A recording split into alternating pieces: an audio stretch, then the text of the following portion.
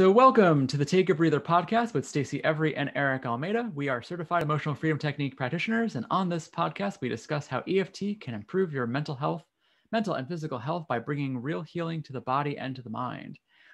Uh, we also have different types of practitioners visit us on the show to tell us about their methods and how they can facilitate deep healing. As always, please give us a five star review on Apple Podcasts, like and subscribe on YouTube. That helps the podcast out a ton. And today we'd like to introduce Sunshine Beeson of Inspiral Iridology from Monson, Massachusetts. We're super happy to have you, Sunshine. Thank you. I'm super happy to be here with the two of you. For sure. So, who are you and what exactly is iridology? I am Sunshine Beeson, and I've been in the holistic health field for over 38 years with several different modalities. My foundational piece is iridology. And actually, what that is, is that it's an analysis tool that analyzes the iris, the colored part of your eye, which actually reveals one's physical and emotional health to uncover and unlock the challenges that plague people's lives. So I, I assist in helping my clients in getting to the deep rooted causes of persistent unresolved inherent imbalances in the body, mind, and soul that all show up in the eyes. So when I heard, so you're my first introduction to iridology. I had never heard of that modality before prior to meeting you. And I remember after us having our first session where you looked at my eyes, I was just baffled by the amount of detail you were able to pull from just looking at that detailed look at my eyes. And it's how did you how did you get connected with this line of work? It is it still to this day fascinates me the amount of information that is displayed in that in the iris in the colored part. There's actually layers and layers of depth to the iris structure. So many, many, many years ago, when I was first involved in my healing arts, um, I, you know, I, I do nutrition consulting and herbology and uh, Bach flower essences, a, a plethora of many different modalities. And I was introduced to the infamous Dr. Bernard Jensen, who in the Western world is one of the most well known iridologists, because iridology actually was discovered back in the 1800s in, in Hungary. Um, and it's so it's much more prevalent on the west coast and in Europe. So I was very very fortunate to study with this master who is no longer living and that created this incredible vehicle platform foundationally for my healing work because there's there was so much information that was all revealed in the iris of all of the other types of modalities that I that I do, so I could really pinpoint as to what what this person, each individual, really needs personally. That's so cool. So if I'm understanding that correctly, you start with the iridology to kind of get that internal blueprint from your client and then you have like your toolbox of options as to which avenue to go down with them based on their individual needs. Did I get that correct? Exactly, Eric. Yes. That's so cool. Yes.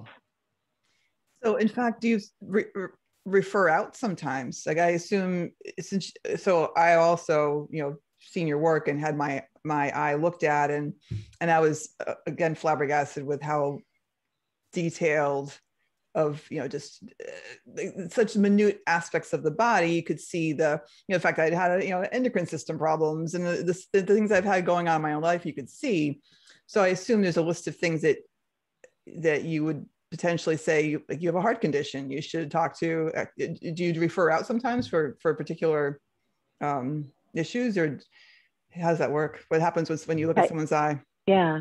Yes exactly. So if i don't have something in my personal toolbox to assist somebody then i love to collaborate and network with others. So uh, yeah so i can see um, structurally what's going on with your bones and I would refer somebody to a chiropractor. Mm. Um, I, I, love to network with people that do lymphatic massage because, of course, I can see the whole lymph system in the eyes. And so I would refer somebody to get some lymph tissue work. And, and I would work with that person on the emotional level because 90% of the time of our physical ailments, there is the emotional link that's uh, hiding down in there, in that temple of your home there. yeah, the I body. Assume, I assume. Would you say no matter what the condition is you that's diagnosed with the iridology, you have you have your own tools to deal with the emotional piece of that illness yeah, or yes. condition? Yes, which is my hypno core release work. Yeah, can you tell us more about that? So, I'm certified in many different types of hypnotherapy, counseling, uh, somatic, and uh, emotional release work. And I've created my own system called Hypno Core Release. So, it's a form of hypnotherapy, getting to the core so we can create release in the psyche, in the body, in the mind, in the soul.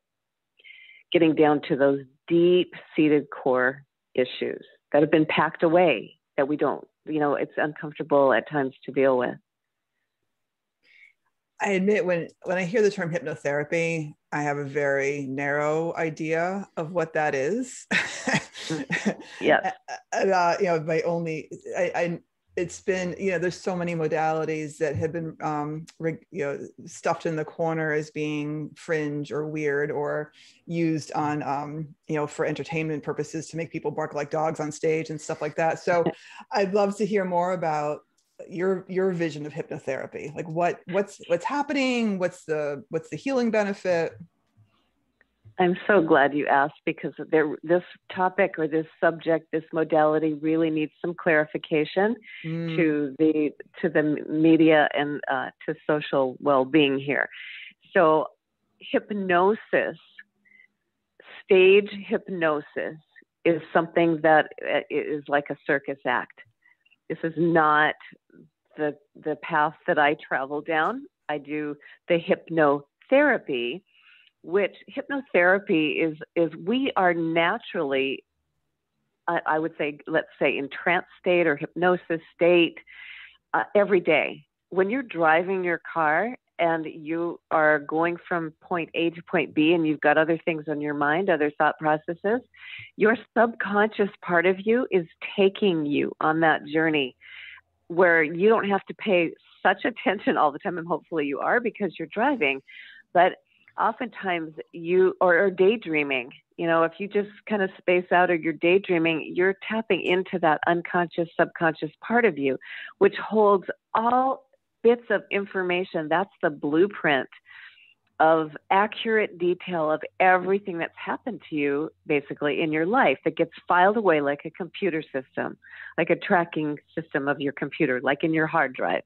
And i don't know much about computers but i know i can language it that way so the information is all inside of you, it's all there. And so, what most hypnotherapists might do that when, when they're dealing more with, on the with the emotional body is accessing that part of you but you're cognizant. Your mind is aware of everything that's going on. So we're not suggesting anything that that is uncomfortable or that you're not able to access yourself so all hypnosis really is self hypnosis, unless you're doing stage hypnosis, which mm. is the hmm. circus act. right. Mm-hmm. No, so I, I could certainly attest to that. So I, I've had so for open disclosure, I've had one session with you, and that was my first time doing anything in the hip, in hypnotherapy or any. I've never done the stage hypnosis ever. I never wanted to and you're you're what you described is dead on right. Like i was i was always present during the entire process but it it's it definitely kind of felt like a almost like like a, almost like a, a form of like guided daydreaming where like yeah. I wasn't you know like depending on your guidance depending on what i was getting in tune with. So either it was either either you were guiding me towards the visualization that you're helping me create in my mind or you're guiding me towards me connecting with sensations in my body but the, i was always I was always there. Like that, like my conscious, rational mind was always there. It might have been a little bit more on the back, but it was always like it yeah. was still there. It, it's never like he, right. he never went away. So that's right.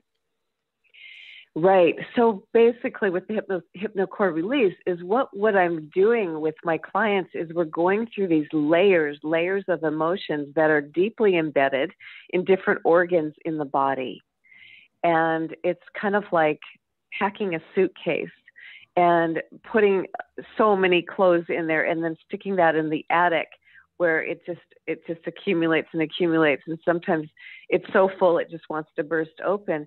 Well that's the emotional body uh, where it, it, gets so full of some of these emotions that either we're just too it, too, too much fear to address um, and then it will cause dis-ease in the body in some way some form. So when we unpack that when we unpack that suitcase it creates more spaciousness and room to experience more joy and freedom and um, come into your own identity and autonomy. You know it's so many it's so interesting how there's so many things. So i've, I've been holistic medicine focused myself for only 10 years and a lot of my assumptions were based on i guess uh well you know you, you how do I say this? The things I've been learning about holistic medicine, but then also about things like energy work and um, um, more the woo woo therapies, Reiki and stuff, is that it's separate from the body. Right. And it's so funny to think, and uh, just clicking to me now that uh, I don't know if this is everyone's connotation with the spiritual versus the physical, but it sounds like what you're saying is the spiritual is the physical, just like the mind is the body. Because if the subconscious, if the eyes are recording so so the eyes are recording genetic history right so yes. stuff that you know why would or and, and future genetic history as well correct like ge- the generations yes. coming are, is also recorded in our eyes so that's like, that's, yeah. that's well beyond the physical right Indeed, it is. Uh, but what happens, I think, in, in our world, in our society, people um, there's a fragmentation, the way that I like to say this, and there's a separation in the four domains, which is physical, emotional, spiritual, and mental. So folks either will go be so inundated with the spiritual aspects of life they forget about their body and nutrition, mm. or they're so mm. mentally oriented to to calculate and have that mind constantly going that the spiritual gets lost. So there's a disconnect there.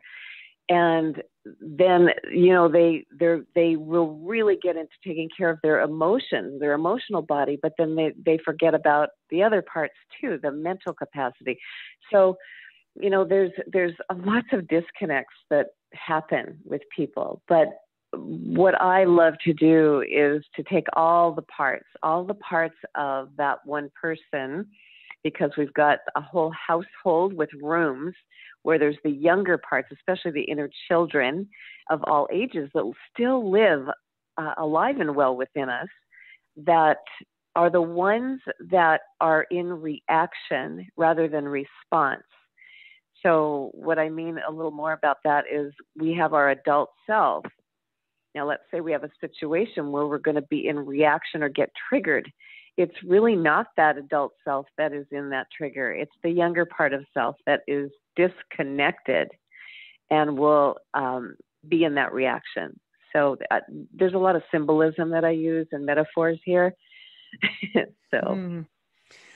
and it sounds like you're saying that some of these parts live in specific organs. Is that what you said? The the emotions actually can create residue in the specific in different organs. Mm. It, if if those emotions are not um, met and brought into maturity. Mm-hmm. So I assume that's where the iridology is extremely helpful because you know exactly which organs are under stress from yes. your analysis. Right. And uh, do you assume there's always an emotional component to any dis-ease within the organs? You know, I would say that it's probably it's close to 90%, and that's what has been um, understood and uh, uh, analyzed is, is that net, it's about 90% that there's an emotional component or link to our uh, dis-ease or physical maladies. Mm. So I wanted to share something with you that um, maybe will make a little more sense of things of, of how we carry generationally this uh, these aspects. So I have uh, twin grandchildren. They're going to be five years old, and when they were mm-hmm. eight months, I took photographs of their eyes. That's my that's my method, by the way. Is I use an iridology camera that really lights up the depth of the fibers in the eyes, in the iris. So I took photographs of of uh, my grandkids, boy, girl, and I told my daughter exactly the personality that my uh, grandson was going to have and saw where there was a link that was un- not cleared with his father, my daughter's husband, of there were some issues between uh, his his mother and himself that never got cleared, some anger issues that showed up in my grandson's eyes. Hmm. And okay, so that's that's one little aspect. And then I also saw that his lymph tissue was very sensitive and that he should not consume gluten or dairy. And um, my daughter's pretty organic and she's very much into all this, but there was occasion where he was having some gluten and dairy and it he got an infected lymph node and I, because I, I, told them that this was going to affect his lymph tissue. He had to have surgery at two years old. Oh my word! In his lymph node, and so yeah. So anyway, you know, we can see these predispositions for happening, and how to take important measures. And I love to take pictures of babies' eyes or or children because then we can create a plan a plan of action, uh, you know, for lifestyle and for nutritional methods to avoid. I tracked um, a, a young child for five years and expressed what the predispositions were, and the parents were able to catch it. And they, everything that I was saying about about this child's eyes uh, was happening. It was coming true, and so that that I, I just love this. You know mm-hmm. that it's so um, it's so effective. It's such a great tool. So, using that example with your grandchild, so he he inherited something an unresolved emotional emotional mm-hmm. hurdle from his father. Right. What now now that he is his own entity, his own person, mm-hmm. what does mm-hmm. so what does the grandchild do with that? So it's really interesting because he was having some, he didn't know how to deal with some of his emotional outbursts. And because my daughter is, is who she is and so conscious, she's created a feelings corner to identify what he's feeling. And it is really cool because there's faces on there on these little cards. And so now he expresses what he's feeling. And here's the interesting thing how this energy works. Because he's able to express himself and be so conscious about it, it has now transferred back to his father, where his father is communicating better with his mother. Oh my God. so I didn't realize it goes backwards. it can go three generations back, three generations forward. I call this the ripple effect. So it starts to affect other people, right? Other other people in your sphere, in your field, in your in your business, uh, in in your all your relations, in different ways. So it's pretty powerful stuff. it's amazing.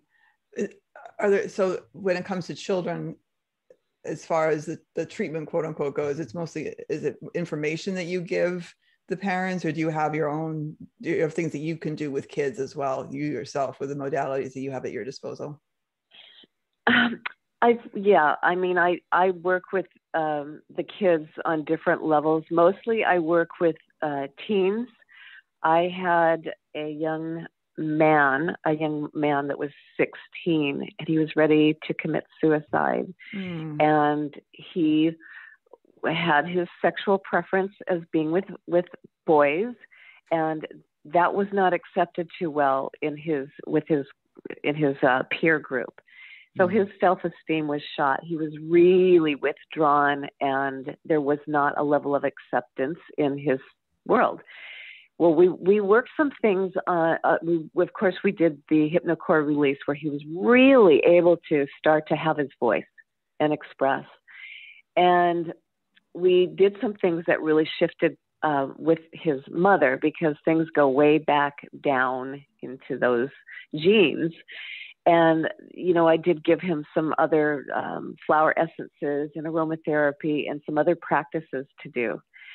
So with all of the different um, different systems he he is loving life. His mother came to me and was in tears and said mm. i i can't believe the transformation that's happened. He is now like engaging in school. He wouldn't go to school.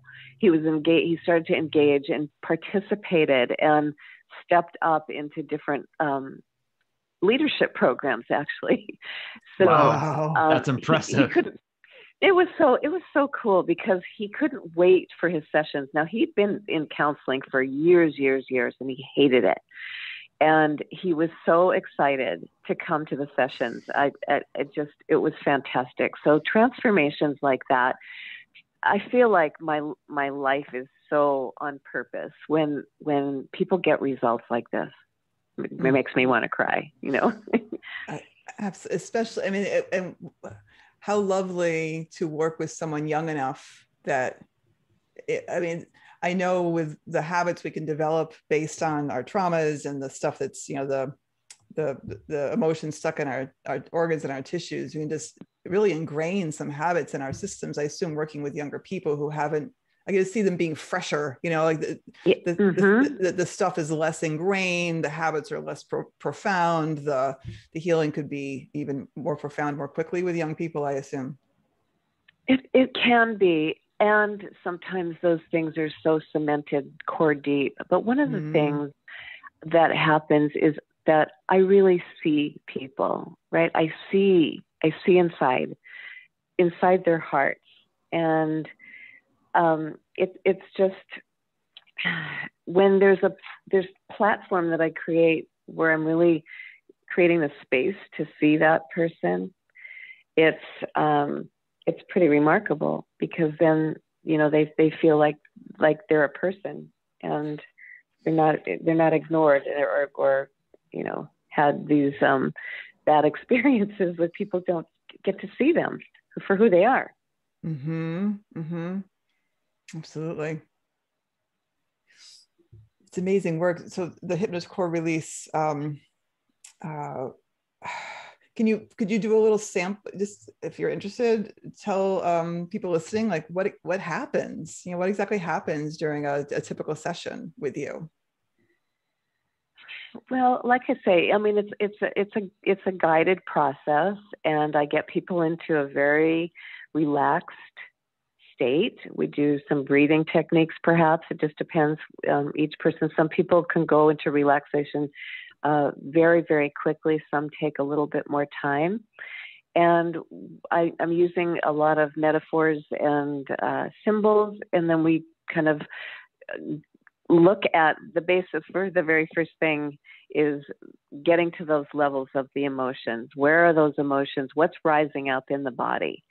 Know, what what what are you sensing that's coming up? And everything is welcome. Every single emotion is welcome. And in our world, you know, the the uncomfortable emotions is we're always trying to suppress them.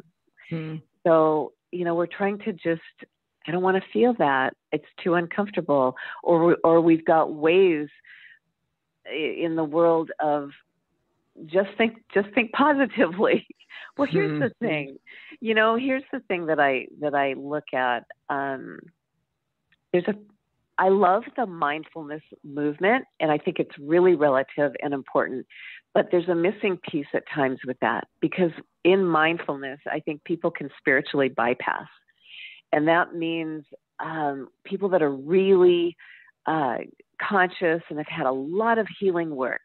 The mind can get in there and be very slippery and take them out from feeling the depth of what they need to feel. Because once we are allowing that emotion to really presence itself, it dissipates. It just needs a voice. It just needs to be heard and be witnessed or be seen, and not um, not suppressed, because that's where where things start building up, and that's where when people get so frustrated or depressed or angry, like the flip side of anger is passion, right? So when we mm. keep dishonoring that anger, and, and in our society, anger is is repressed or looked down upon well, we don't want to take that anger out on our tribe, on our family. We want to we want to address that anger in a safe way. But we've got it's all energy, right? All emotions are it, are just energy, emotion. Those emotions are supposed to move like a river, mm. like a roaring river. Like when you shut a dam off, you know what's going to happen? It's going to be explosive. And then when you let that dam water just flow out, it becomes a stream, becomes very calm and neutral, right? So then it's manageable. It's like what happens when people go through the full course of my hypnocore release. Oftentimes it's like being in the eye of the storm. Okay. So you're grounded and you are solid with your own sovereignty, your own identity, your own feelings. And then everything in that storm is circulating around you, like the world, the politics, your, the family, the business, whatever it is that's in this chaotic spin. But you're not hooked into it. You don't get hooked.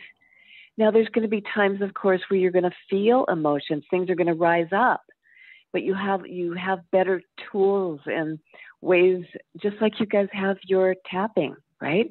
We have all of these tools that are effective and help in the conglomeration of healing at its best. So, you know, I think all of the holistic um, tools work to enhance one another. No, for sure. I agree with that. Mm-hmm. Yeah, I, thinking about how, you know, well, what you said when we maybe think of the fact that um, the elements of of the healing process, one of them being so much about acquiring trust. Yes. For our to ourselves. I mean trusting our own body's wisdom. Like the fact that you start off the session assuming the body knows what to work on first that what right. what's coming up. That that's what's important right now and we're trusting the body's wisdom. And and how much of the healing process is about the person learning to trust their bodies again or trust their own intuition again or trust their sensations again and that getting mm-hmm. sick and that getting and that illness is an opportunity for healing well beyond whatever uh, particular symptom or condition you've got going on right then because it's that opportunity for you know the, the accessing emotions we haven't accessed before and i i just um uh I just find it frustrating often how culturally speaking there's so many things in place to keep us from feeling our emotions a and then b how easy the how to the slippery mind you know how easy it is for even if you do engage in the healing process and you get to, it's so easy to get to a certain point you know the danger of knowing a little right i you know yeah. just when you know just enough to be dangerous like oh yeah. I, I have healed this part of myself and i know yeah. all about and i know all about that and I, and now i'm good thanks and i'm gonna uh-huh. try, you know and i'm not going to go any further underneath the surface because i a feel better and b have just hmm. enough trust to navigate the world and see the, the stuff underneath feels so dark and difficult and it, as you say you know it's once it's it's in my own experience over and over again once you witness the emotion no matter how bad it is it's it loses so much of its um, its power and its its dread right and you you said a key thing here stacy I look at life and everything that comes into your field. All right, anything that's showing up for you is an opportunity. If we can get underneath, right, mm. get underneath to what the lesson is, because it's there for a reason. And it's I, I like to reference this oftentimes as if you're going to cut the tops of the weeds off in your garden, you're going to get more weeds because you didn't get to the roots. Mm. So, by getting to those roots, you are creating more space in that soil, more space in your emotional body to have the things that you want to have more pleasure, more joy, more freedom, more ecstasy.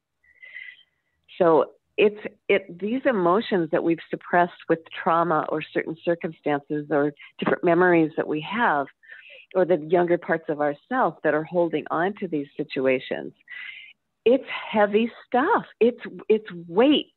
We so therefore the fatigue comes in the tiredness comes in and it's it's weighted junk that we've packed away right but when mm-hmm. we get mm-hmm. down underneath and pull those weeds, you know, and give them some space, give give it some room in there, then there's the big opportunities that come in of being a whole person that you came in and, and having your purpose, having self-esteem, self-worth um, start to be restored.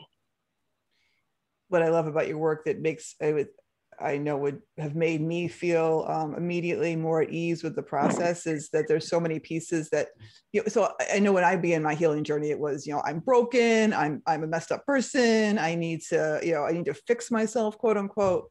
And then all and then i learned over time all the pieces that weren't my fault you know uh, this, here's all the things you learn from your birth family and then now you Absolutely. also have right and then you also have all the things oh here's the things that came down in your genetic history that you, yeah. you really had nothing to do with and that and to be able to go after look at those things and say oh i have this predilection not because of anything that's quote unquote wrong with me. It's a it's a burden i carry from my ancestors. And how freeing it is to know to recognize that as some of the things that we struggle with aren't aren't our fault. Exactly. So i i, I want to say something about about that in there that you know about the the human heart and feeling like people are broken I, I've dedicated myself for all these years to assist in being a healer of the human heart through the emotional body because the emotions are here to guide and teach us. So I, I heard a saying once, I don't, from a healer, I don't fix what's broken, I heal what's torn mm. so that we can, mm. we can remend. And I've adopted that kind of philosophy because we're not broken. Nobody's broken. Mm-hmm. It's just we've had pieces of ourselves that have been separated or torn. And so we're mending back together. We're recalibrating, right? It's such a, a, a beautiful paradigm compared to, I mean, it's just, uh, it's the paradigm to replace our, our vision of what what health means, what you know, what we are as humans, and our biology, our emotional hearts, to see us as that way fundamentally. Yeah, they would shift everything. Yeah. Mm-hmm. Mm. Exactly. Yeah. Yeah, there's a lot of things um, you're talking about as far as um, you know the eye of the storm and all the different things that can be swirling around us. When when you or I were speaking um, not too long ago, uh, another aspect that people often struggle with is um, you know so there's the there's the the past you know the the genetic history there's the stuff we learn as children and then there's uh, a, the current world we live in and the low level or high level or medium level of stress most people have all the time. And you were saying that people can actually become addicted to stress. Yes. The, way we're yes, addicted to is, anything. And I'd love to hear more about that. This is a really um, interesting thing, what happens, because this is part of our primitive brain or amygdala. So, biologically, once the stress, the stress response is activated, then our body starts pumping hormones. And, and there's stress hormones like cortisol or adrenaline and also dopamine. So dopamine gets mixed in there, which is is kind of like a high. Okay. So normally our our adrenals, our adrenal glands are meant for fight or flight. Like if a tiger, right? The old thing, if we're cavemen and uh, a natural or a natural disaster or a natural thing of an enemy comes up, and we're going to go into this this feeling. Once the threat has passed, our body starts to go back to normal into a functioning cadence. But here's what happens when we are in, let's say, you know, financial trouble or we have excessive workloads or relationship difficulty, and we keep in these perpetual patterns, these these patterns I call them, or the imprinted patterns, that's where we get into trouble where it starts to turn into like an addiction because this, the stress response becomes so habitual that you start seeking unconsciously, mind you, unconsciously more stressed, And you start, you know, either you're overworking or your your mind keeps going at a perpetual race, like a spinning the wheel all the time. And you start to be get become addicted to these heightened states because the adrenaline keeps pumping. So it's just like a drug. And really, what happens, then we start to do things, you know, that are going to try to alleviate it. Like we go into what I call escapism. So it's either going to be with alcohol or or watching excessive movies or wanting to avoid. Underneath that is where we have the disconnect with ourselves, but I also call it a spiritual disconnect where we sort of, and this is not about religion, okay? This is um, where we pinch off our spiritual cord of the divine. And we feel like we're all alone and we have to do everything ourselves.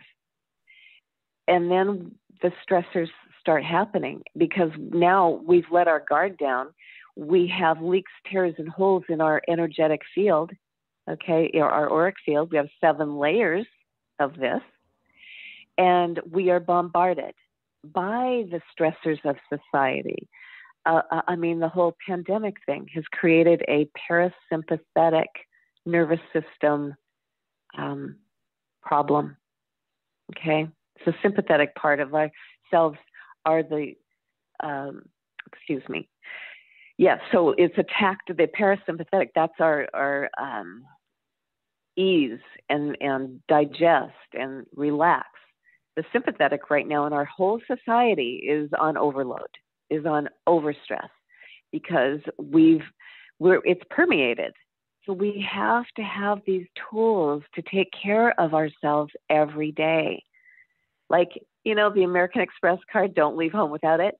Well, I it's important to ground yourself, to protect your energetic field by you know, meditation is helpful, breathing's helpful, but coming back to self. And we, when we've got so many distractions, we keep leaking. We leak out. And then, you know, we're not even ourselves anymore because everybody else's energy is all over us. Right? Mm. Yes. Does that makes sense?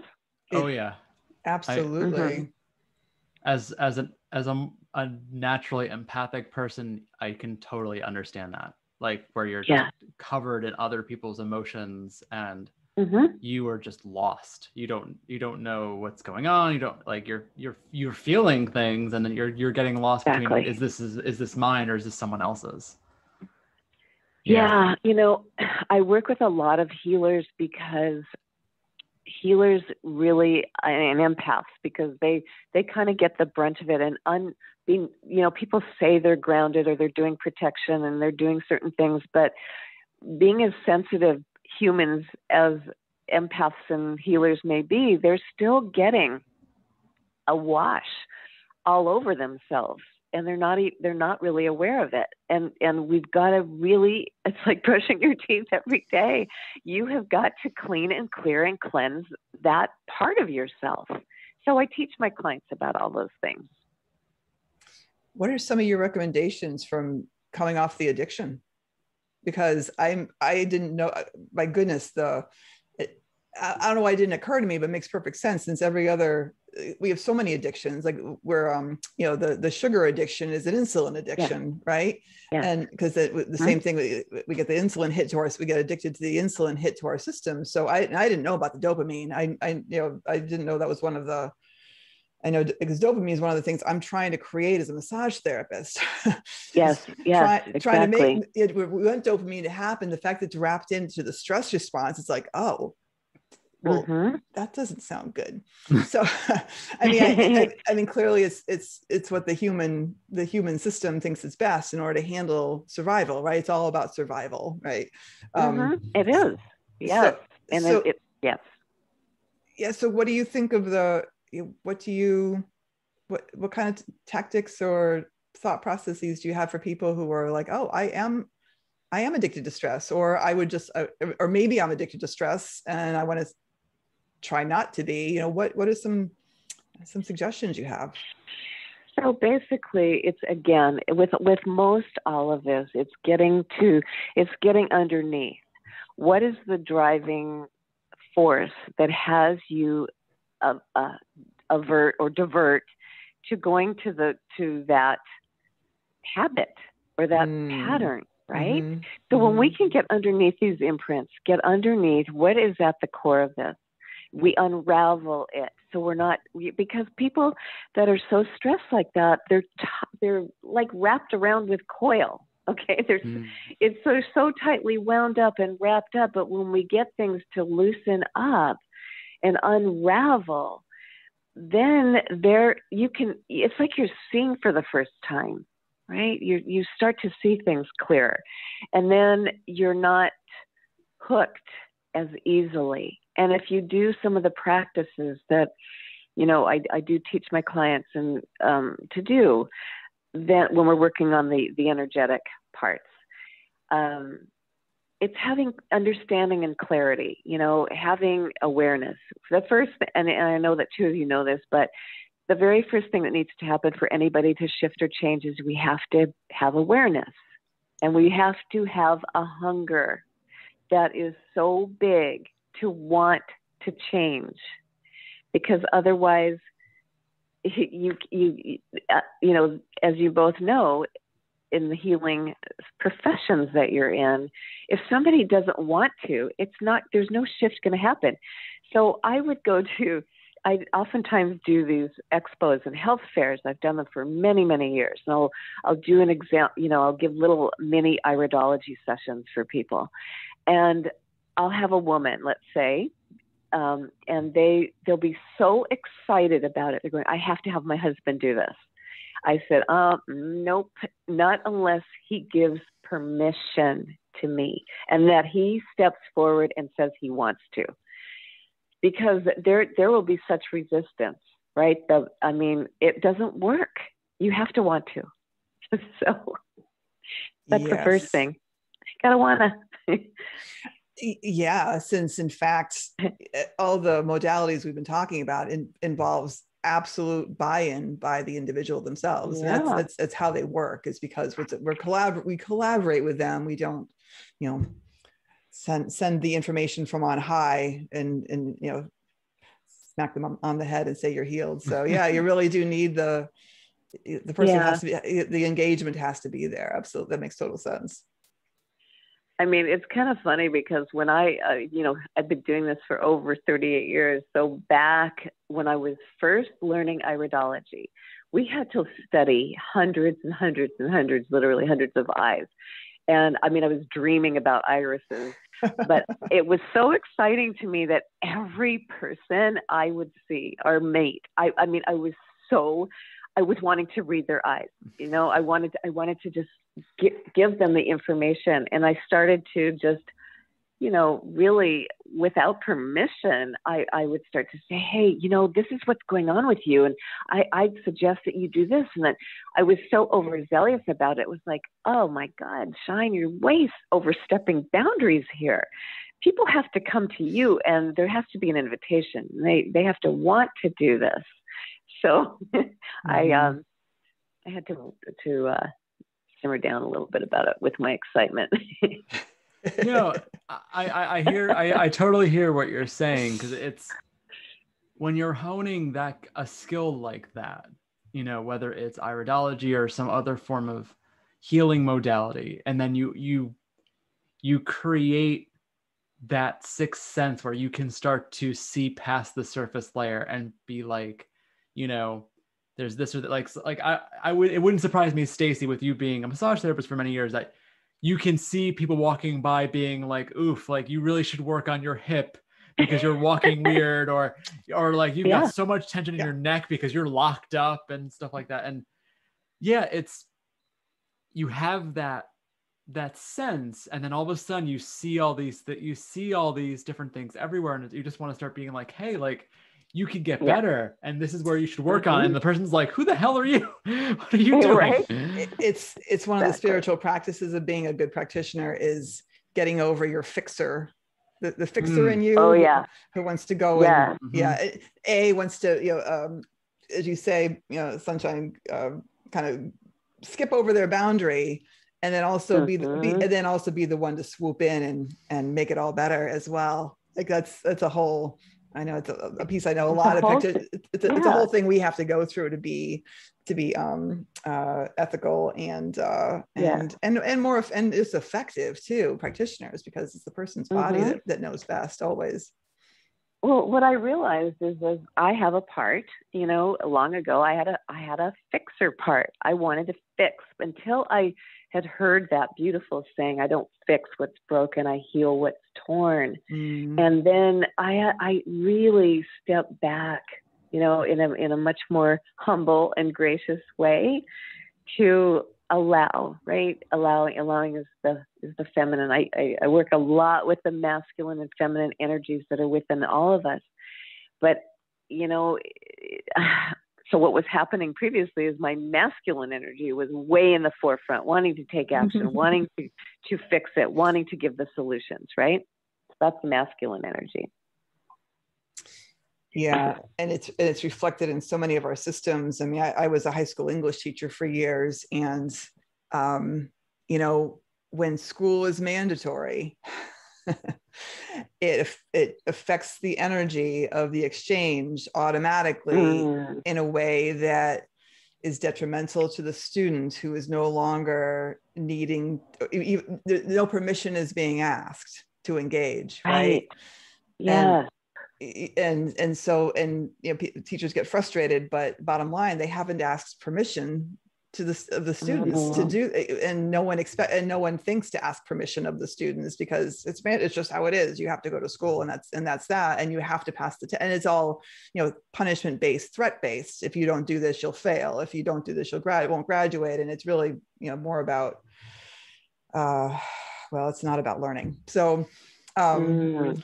and then you know and then western medicine has had that problem too i think as well with yeah you know this is what i this is a treatment i am going to do to you because mm-hmm. i'm the mm-hmm. i'm the expert and and um and i i know more about your body than you do and those again the, the flipping all the paradigms on their heads is just going to be better for everybody well let's just, you know I love that perspective of what you just brought up about the school. That is so interesting. Mm. The thing is, is that we are so symptom based, right? We, yes. we, as a society, we, it's like fix the symptom I don't want to feel this anymore. Give me mm. a pill, give me a drug, you know.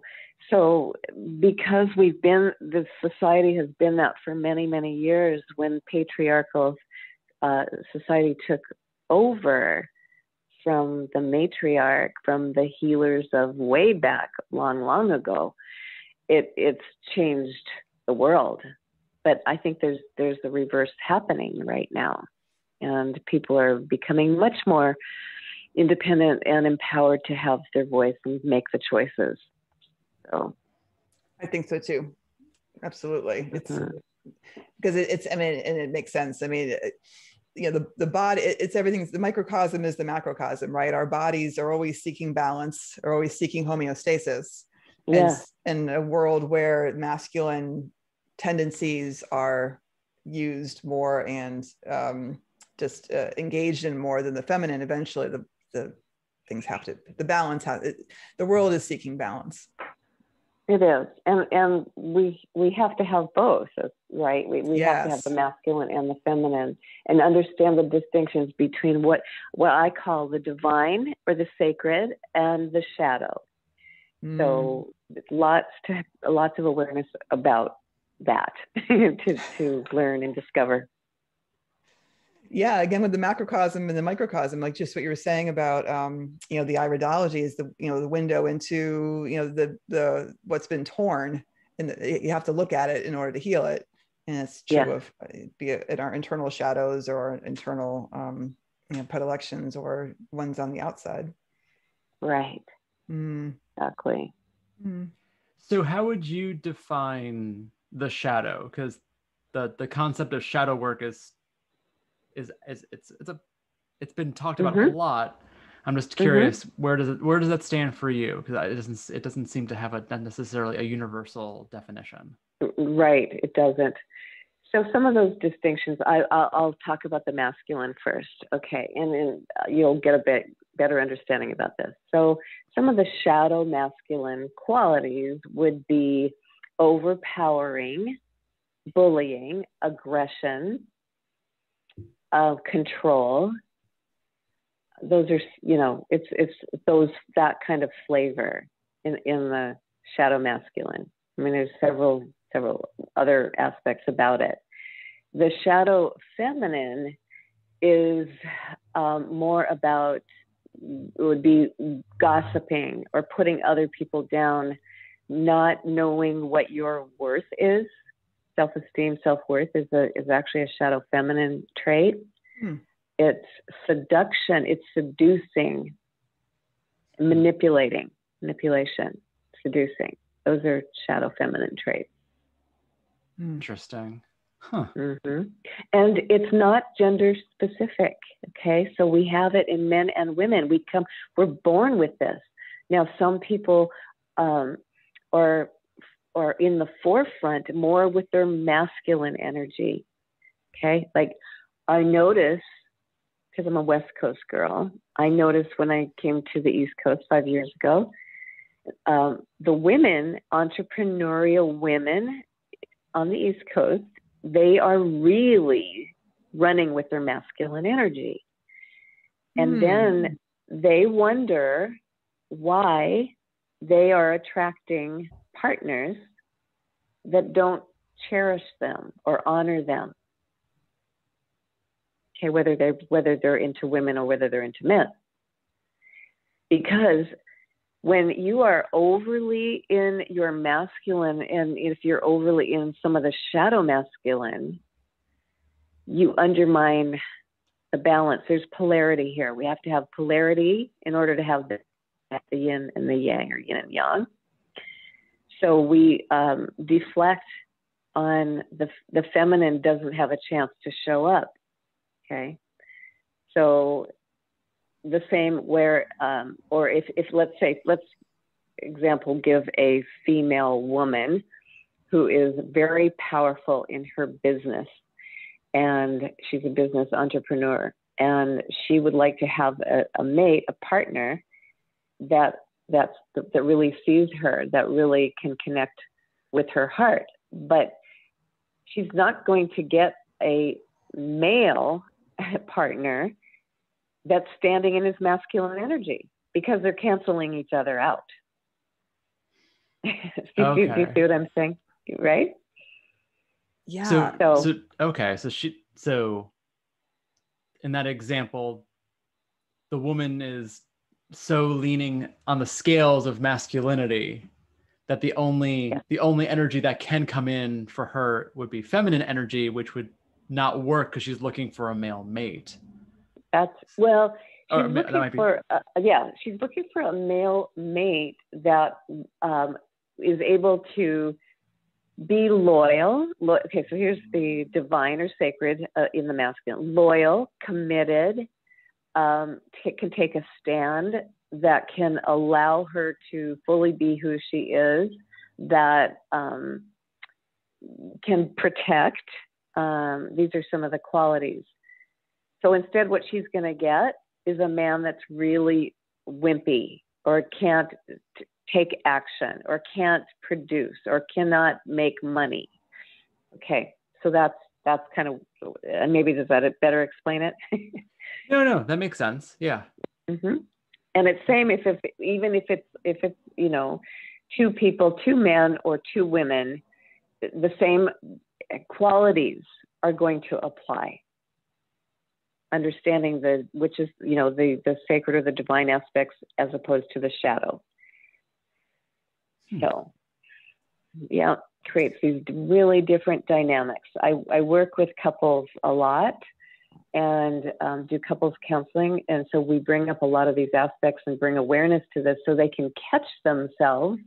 Okay, who's showing up here? Well, okay, what part of me, first of all, is showing up? And is this my shadow part or is this my divine part?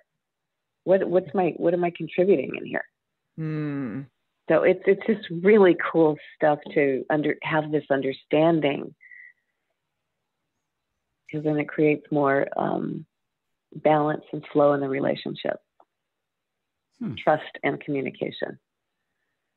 So it's again what you were saying before about needing to have awareness being key to so much of this, and yes, and also what you said earlier about how um, uh, when you want to change the world around you you change yourself right how how your own internal yeah. changes you know affect all the yeah. the people you're connected to and including your who you attract from the outside as, as a friend or as a, a romantic partner right once you're yeah have your own balance so, uh, your balance sheet in in a better yeah. in better state exactly mm. um, sometimes it's difficult to understand this ripple effect I, uh, can i give you an example Mm. Please go ahead. Okay. So I love this. I love this part. Um, I have this really wonderful Guatemalan man come to me for a skin problem. And of course I know that there's underneath stuff about that, but we we looked at everything. You know, I'm going to suggest things for him nutritionally as to what's happening with the skin. But then we discovered of seeing in his eyes that there was issues that he had with his father. And I didn't know he had issues with his father. His eyes told me that. And he said, you know, we all live, we live. It, it's like a, a three story or so complex where he, him and his family and his young children live at the bottom. His sister lived in the middle, and his father actually lived at the very top level. He hadn't spoken to his father in four years, and he was so distraught about it. He and they they didn't communicate and he wasn't participating with his grandkids. And so we did some of the Hypno Core release work. And after a few sessions, he called me in tears. And I got very concerned. I, I, I said, what, What's happening? What's wrong? He said, Oh my gosh, nothing's wrong. I don't know how this happened, but my father came downstairs. He knew nothing of what we were doing, Sunshine. He came downstairs, knocked on the door, and apologized and asked to be with the family again and to see his grandchildren and to have dinner. And he said that was remarkable. So that's part of this ripple thing where people start to I know. Okay, I cried when he told me that. oh my god! Of course, that's a oh how brilliant. Yeah, that's so fascinating. Oh my gosh! And, so then and, he had I'm sorry. Oh, oh no, no, go ahead. Continue, continue. So he then, therefore, had his whole family. His father didn't come to see me, but his wife, his sister, a cousin, he had his family all come see me because he was so blown away. Of course, his skin issue cleared up. Mm. and you know the the family was together. I mean, it was oh God, it was so amazing. Oh my goodness. Oh, and what a beautiful message of hope you know when mm. you feel when, yeah. you, when you feel helpless in the world and that everyone around you is you know is is is in dire straits or they're or it's they're everyone's mean or angry or whatever and knowing that you can just heal yourself and yeah. and, and, make the world a better place. Like you're literally yes. making, the, and it's not just because you're, and not just because you're better, but because you're helping people heal all around you. How, oh, yeah. So beautiful. yeah so people say you know it's we're in a helpless state. We you know the world's fucked up. Excuse me but mm-hmm. um, it's messed up. And um, you know but the thing is you have purpose. Everybody has a divine innocence in them. And this is what i love so much because i can see it in everybody's eyes.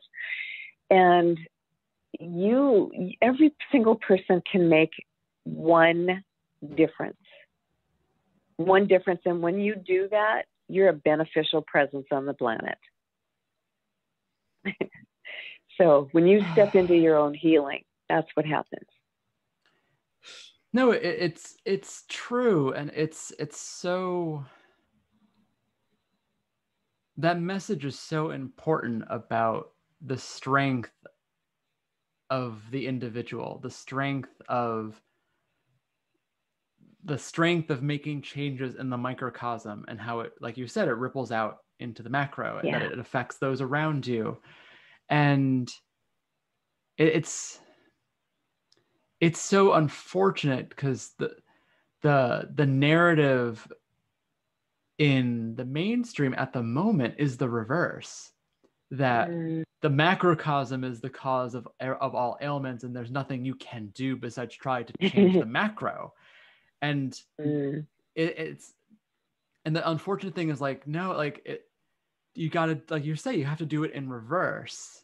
Yeah. And you start where you are. And it's it's it's so funny because like some some movements do that and then some movements don't. So like i remember this happened earlier in the pandemic. I forget what they called it.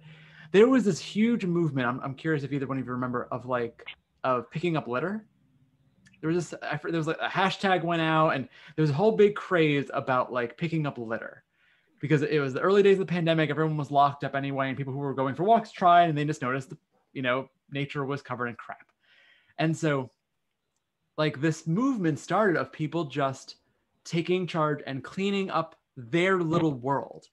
And instead mm-hmm. of them saying you know my street is dirty. Why isn't the town or the city or the state or the federal government doing something to fix it individuals just was like you know what i'm here this is affecting me let me just mm-hmm. do it and they would clean up their own little area their you know their block or their street or their stream or their park and then they would throw they would throw a picture online of like how many garbage bags worth of garbage they picked up and it just caused this ripple of once again this ripple effect mm. of like mm. oh and that's the mm-hmm. thing they they took they they took charge of their immediate environment to, and made yeah. it better for them. And as a result, it made it better for everyone else that was affected by that environment.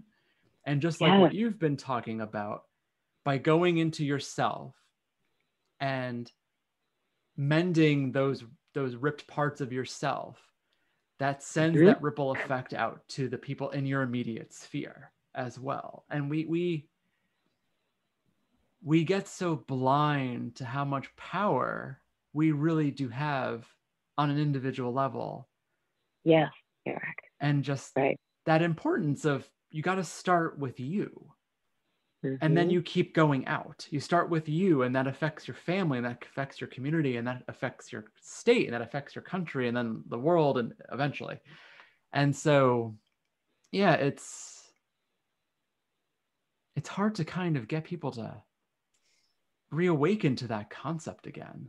Well that is the hope and the opportunity of of things like the pandemic right? I mean it's mm-hmm. it's it's it's those the the healing crisis right? The it's the mm. the the, mo- the moment of truth of oh things are so bad i have to now i'm gonna i have to do something and it doesn't have to be a global problem it happens to the individual mm-hmm. too where this is it's mm-hmm. the moment where we say oh i have to do something and that doing something is what moves us forward in the healing journey and sends out the ripples we're talking about so exactly and you know i mean there's so there's so many gifts and there's a lot of tragedy you know, that's happened along with this. But early on, what I would say to people is if you can't go out, go in. Mm. And that was my motto for the for for almost the whole pandemic. And it, I notice that there's been a lot of people, because we we we all we want that I mean, I miss social girl, I miss touch hug queen. I, you know, I miss that tremendously. But it, it, what I notice is that it, it really gave people an opportunity to not be overstimulated mm-hmm. in regular 3D, right? Mm. So it, it, it provided a space and an opportunity for people to really look inside or do some things or you know re-educate or get into meditation or be with your family be with your children be creative. So there's there's so many things when we sometimes take away so much of that stimulation we could so you know what are the gifts in here? What is in the field? That's what i always say what's in your field? What's right in front of you? Maybe it's nothing. Maybe there's no opportunities to to look at anything because we're there's this thing that says we you know we have to stay inside or we're right? But what can we do with it right we have a choice we have to realize we have choice in each and every moment and the mind, our puppy mind, has to be trained to have that concept. I love the term puppy mind, way better than monkey mind, which is what people yep. usually say. I love that. it's so much sweeter. Well, you think, yeah, you think about kinder. that puppy. It, yeah, it's it's it's it's excited about life. It wants this, it wants that. The mind wants stimulation all the time, and it it, it we have a production of what thousands and thousands of thoughts per minute. Some of those are not very kind, and those can put us on that trajectory of you know of that puppy spinning around, spinning around, and getting into trouble, chewing stuff up. We have to train it. We have to know that we are in control of it, our mature, master, wise part of ourselves, right? Yes. We, So, so we've got to become friends with all parts of our being. No, very, very true. It's, yes. it's very true. Yes. That's a lovely way to wrap up. Yeah, for sure. Thinking of all the ways we can nourish and, and be happy yeah. with our with our puppy mind. yeah.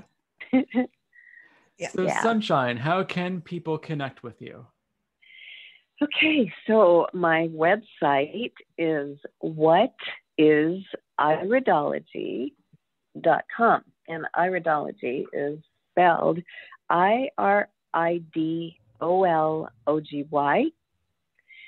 And um, I would also love to offer for anybody that's interested in this kind of work, I would love to offer a, um, a 15 minute inquiry, or uh, I can offer a, a, little free mini 15 minute session. Um, so you would just register yourself as um, in in spiral iridology dot as dot me slash or yeah that slash thing inquiry 15 min so that's how to how to get on my uh, um, calendar. And then one more thing I would like to just um, say too, if you're interested in the masculine feminine um, program, I have an ongoing, consistently ongoing five module webinar that you can do at any time. And, and to look up the information for that, it would be bit.ly and then that forward slash masculine feminine course and there's um, information about that. Wonderful. And we'll put links to all of that into the show notes so people who are interested can certainly connect with you in that way. And Great. any any last words of wisdom before we let you go? Uh, just to, you know, it, accept, I, I think Stacy even said this earlier, really to have acceptance, allowing, and compassion for yourself for wherever you're at in the present moment. No, super, super accurate. Much harder to do in practice. it is True. our practice, and it's a yes. I love that mm-hmm. thought. A great way to end. Wonderful. Mm-hmm. Thank you well, so much for being with us, Sunshine. This was such a pleasure. Thank yes. you, the two Thank of you. you. Thank you so much. Of course. And thank you, listeners and viewers. We're super happy that you joined us this week, and we look forward to connecting with you all again next time.